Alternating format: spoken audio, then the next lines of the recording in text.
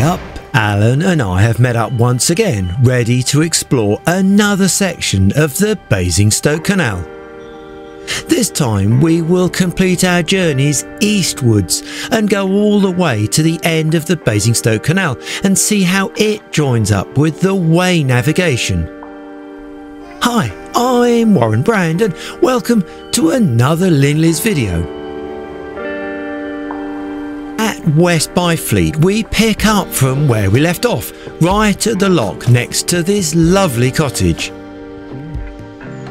The sun is out, the day is warm, and we have a coffee and a snack in our backpack.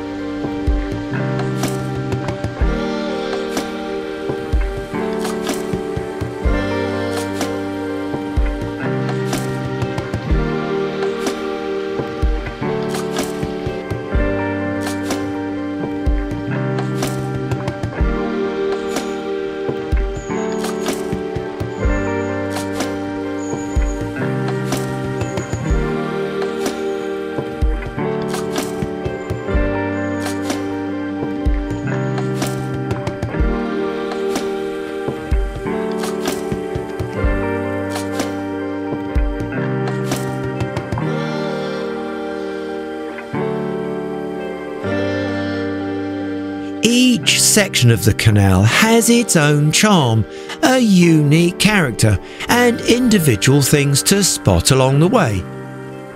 Here, there are some boathouses moored up at private moorings. Some of the craft look very ornate, some with remarkably striking colours too.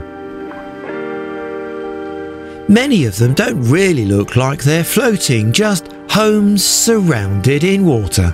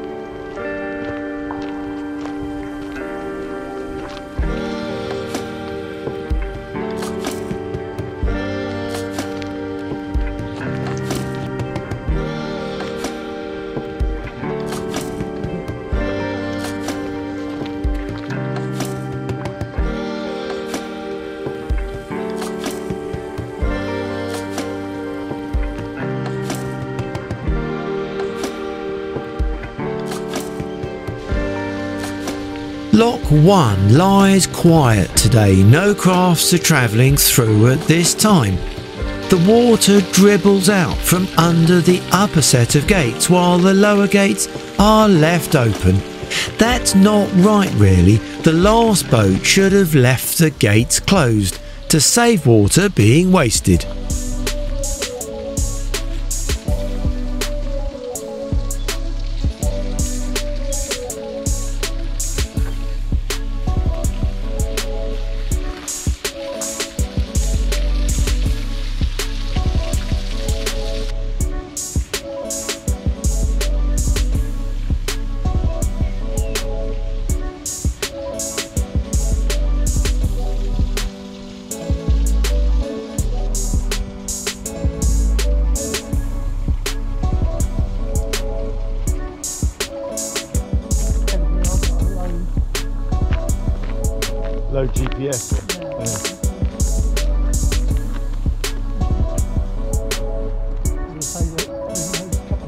As we approach the very last part of the Basingstoke Canal, the main southwestern railway line from London to Southampton runs right alongside again.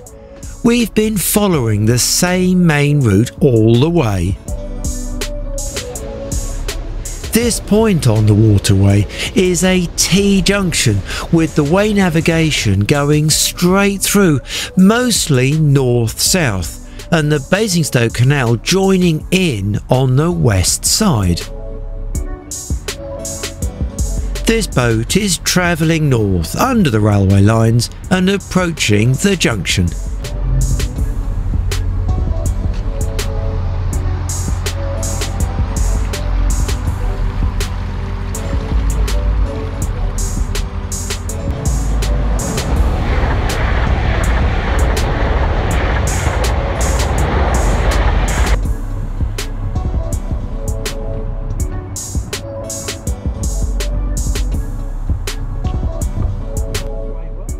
Alan and I have had a choice to make here. Which way to continue? We've more time to spare and we'll be meeting our wives for a celebratory meal at a local pub nearby. We head north to find the next lock up the Wey navigation.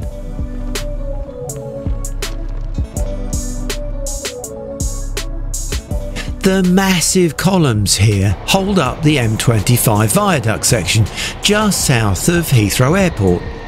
The constant hum of the traffic can be heard even right underneath the massive concrete structure.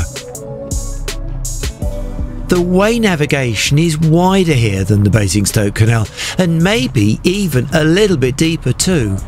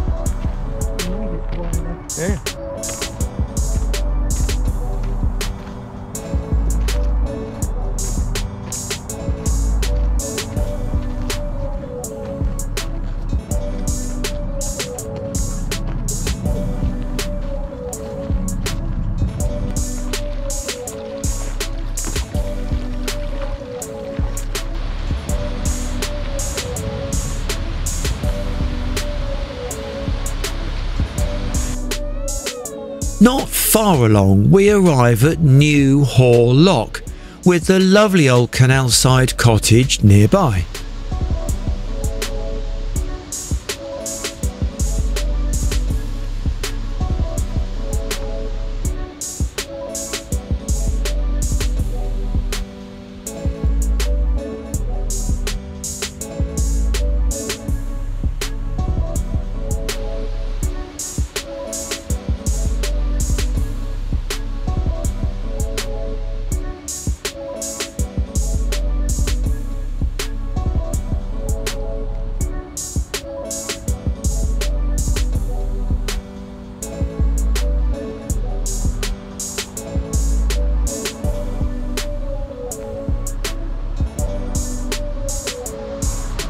After our coffee and snack, we return southwards back under the M25, ready to head further south to find the pub where we have a table reserved.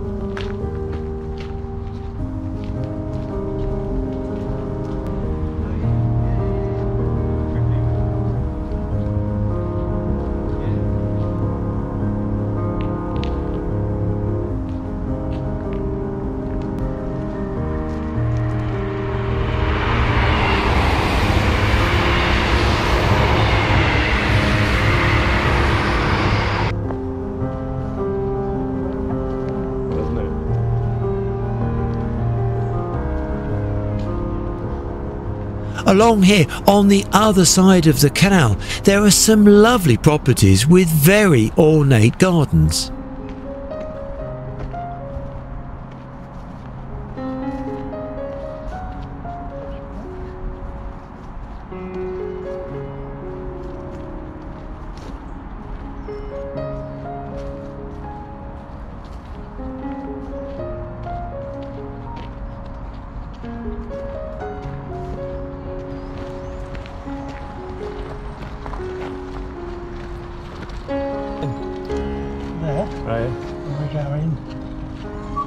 To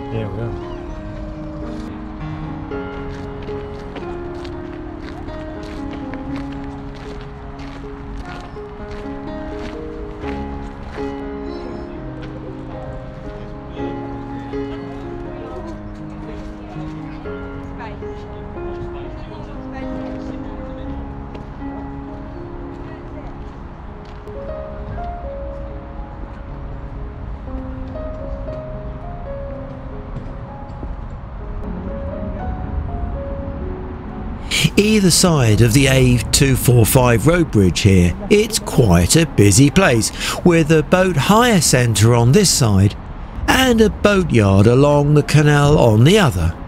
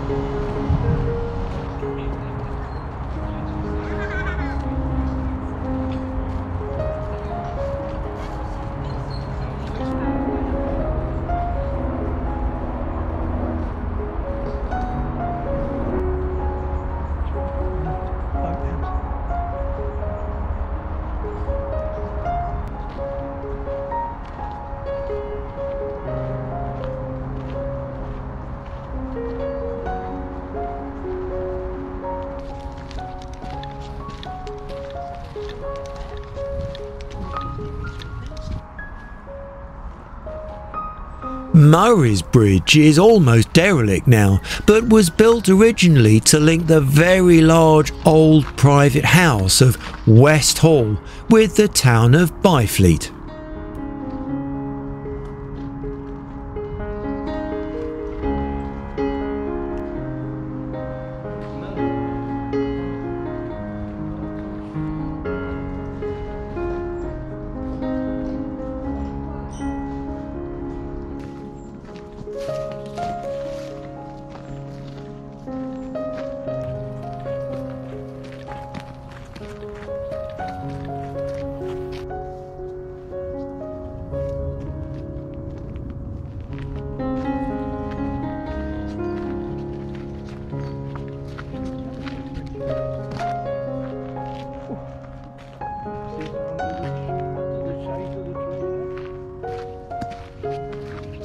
Through more very peaceful countryside, we arrive at Dodds Bridge, which, although is in use, it doesn't really go anywhere these days.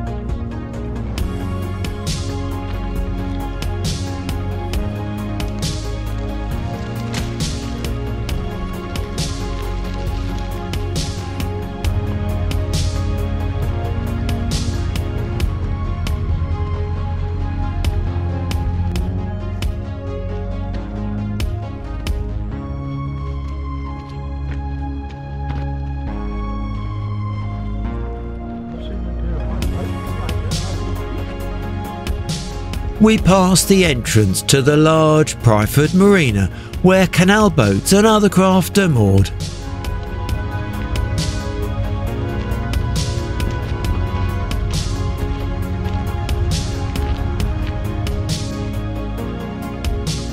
And then we arrive at the Anchor pub, but there's still time for me to take a look at the lock by the bridge before ordering a pint with Alan.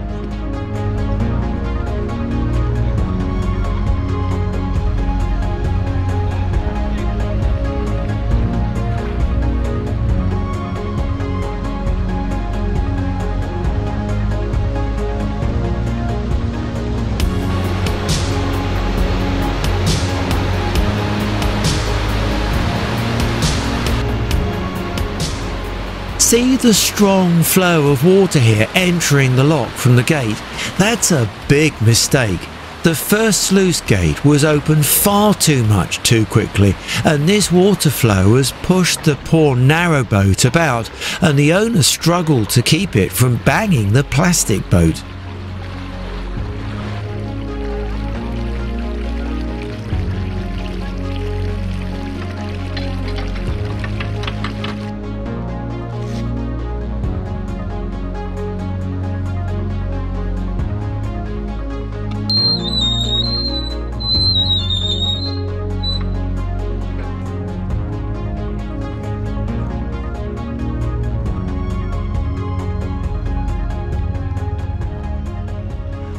Hope you've enjoyed watching this mini series.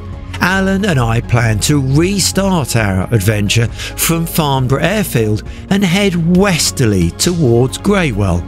Watch out for another couple more videos.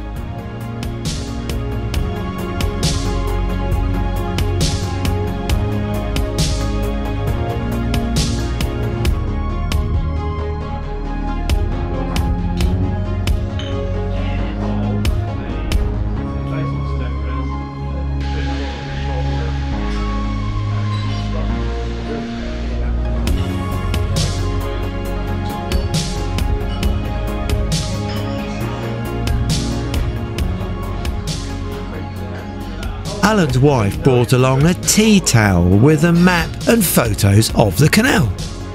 While we wait for our meals, we're tracing with our fingers the tour along the tea towel fabric. Thanks for watching and bye for now.